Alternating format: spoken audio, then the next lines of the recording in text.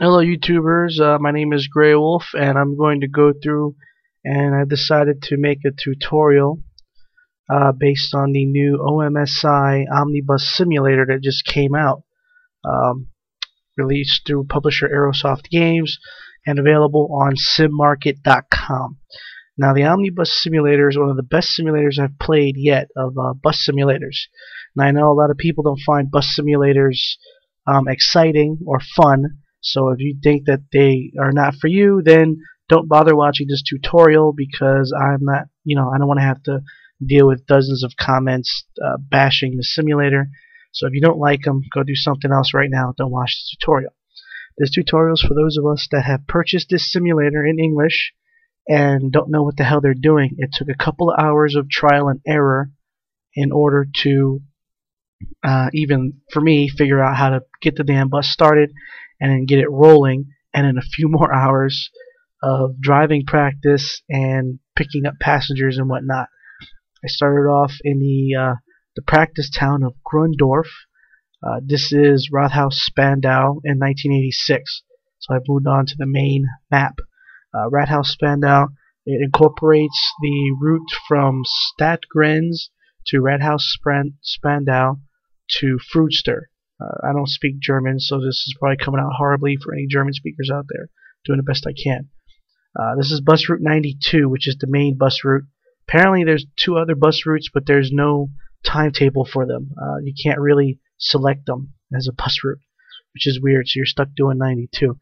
Anyway, let's get back to the tutorial. When you start off, you start off kind of floating in midair like this over an area. Uh, this here is Frühster. This is a terminus stop uh, for route number 92. Um, so when you start off without a bus, you're like, you know, what the hell am I supposed to do? Well, what you want to do is hit left alt. Okay, your menu, which is shown uh, you'll come here. up with this menu up here with all these uh, different there's buttons. a bar that comes up top, scrolls down, and your game pauses. So it's a good way to pause your game. What you're looking at is there's a button that you see here says New Bus. Uh, you select this button in order to uh, select the bus you want to drive because you start off without a bus floating in midair. Uh, so you would select new bus. Uh, the bus for this tutorial, SD200 uh, SD83 with the roll sign. Okay.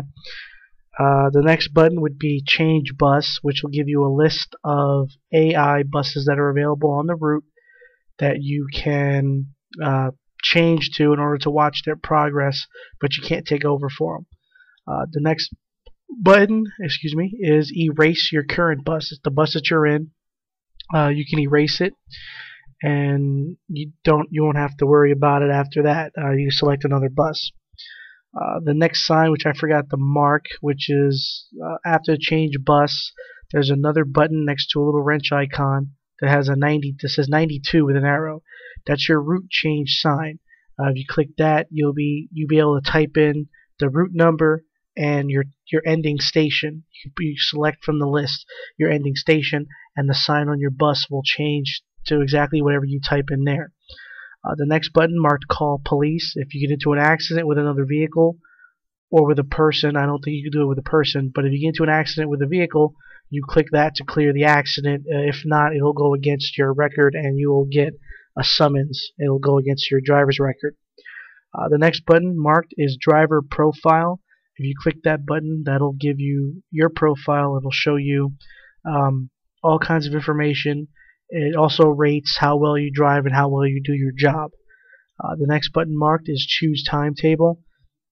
Click that button and you'll be able to select a route, a starting location, um, the next button not marked uh, with a little double arrow that says PC and face of a person. If you click that button, it'll basically give your bus away to an AI driver so they'll drive it away back to the garage.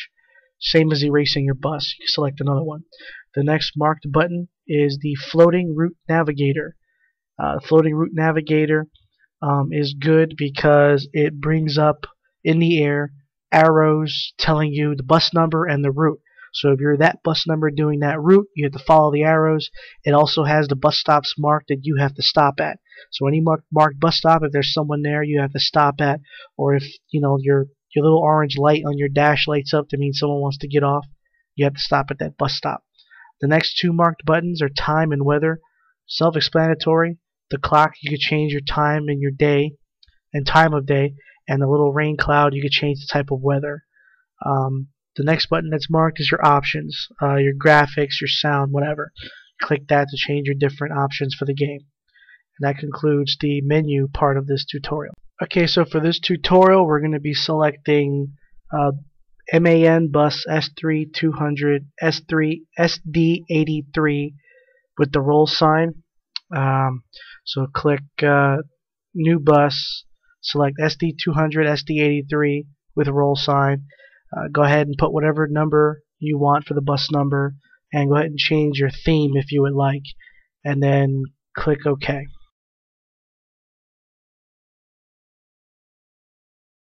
There you go. Now you are in control of the bus at Fruitster. And give it a second. And there you are. That is now you in your bus at your, your chosen location. So now you press S, by the way, to change to different views. So you're inside the bus. Now you're in a bus. Uh, it's freezing cold, negative 6 degrees Celsius. And like me, you're probably sitting here going, what the hell am I supposed to do now? most if not all of these buttons are pressable and they do something. So it took me a few hours of trial and error just to get the bus running. But I'll make this easier for you. This little key looking thing here, which I believe is a key, I just, you know, uh, use right mouse button, hold down to zoom in or out, and middle mouse button to move your camera around, and left mouse button to select. So what you want to do is push that down turn on the electrical systems.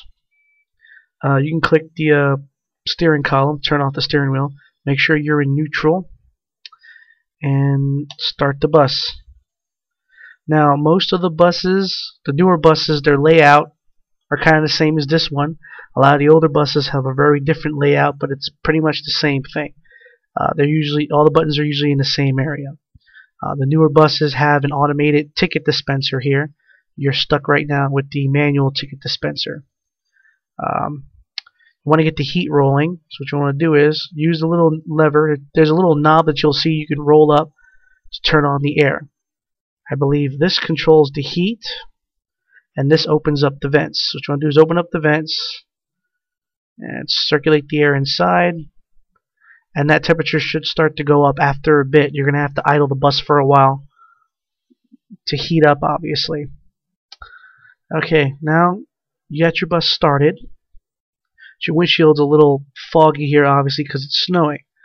Um, these buttons, there's these little row of buttons here which controls your lighting, your windshield wipers, your windshield washer, some other things that I don't really know what they do yet because I'm still learning. What you want to do is turn on your inner lights, your upper and lower lights, and for this tutorial I'm going to turn on the front light here uh, interval for windshield wipers. That's basically a slow wipe every few seconds, or wisher and aus, which makes it faster. For the sake of this tutorial, we're going to keep it interview. So basically slow, medium, and fast. Okay. Now your bus is rolling. What are the controls? Well, you can't steer with your mouse. Um, you can hit the buttons, these buttons down at the bottom. This is your high beam flashers. I don't know what the hell this does. Your horn. Uh, but on your keyboard, which I have, I don't have a steering wheel, I have to use my keyboard. So what you want to do is you go to your number pad, which controls the basic functions of the bus. Uh, number pad 8 gives the bus gas. Number pad 2 gives the bus brake. Number pad 4 steers left. Number pad 6 steers right. Number pad 5 resets sets the wheels straight. Um, number pad forward slash and number pad star control the doors. The doors will only open when you have your bus stop brake on, which is this little knob here. That has to be in the up position. Now, if someone hits a button to get off at a bus stop, you'll have an orange light on your dash somewhere, which will light up if they hit the button, and you'll have to stop at the next bus stop. When you come to a stop, you pull that knob up, and you can either press forward slash, number pad forward slash, and number pad star to open up the front doors, or you can just hit these two buttons here. whatever's your preference. Um, people will then begin to board the bus. Okay. Um, the back doors will automatically close. Make sure you take off the bus stop brake in order to get rolling after you're done at the bus stop. Okay. There's usually a knob, uh, a lever here. This lever controls your parking brake. Um, on the older buses, there's a big lever here in the middle that controls your parking brake. Okay. This is parking brake on. That's parking brake off. Okay.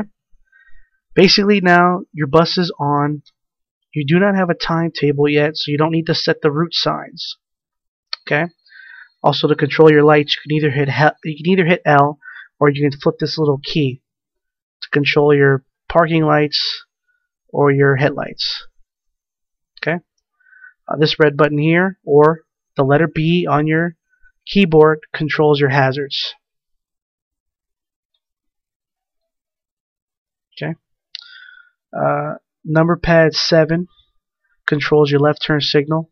Number pad 9 controls your right turn signal. And you have to turn your wheel at least halfway the other way in order to reset that.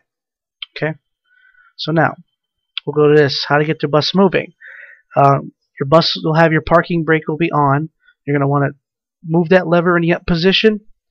You're going to want to, your bus is originally in neutral you're going to want to do is I usually drive in second gear. So you hit this number 2 button here, that's your second gear. So first, second, and third gear forward and reverse. Some of the newer buses just have drive and reverse and neutral in this area. Okay. Um, so to get your bus moving, put it in second gear. Make sure your parking brake is off. Make sure your bus stop brake is off, and give it some gas. And as you will see, you'll begin to move forward. Okay. That's basic. That's your basic how to start tutorial right there. Hopefully you have enjoyed watching this tutorial as much as I have enjoyed doing it for you. The next tutorial will cover driving and bus stops and issuing money and tickets. Uh, so thank you for watching and hope you enjoyed.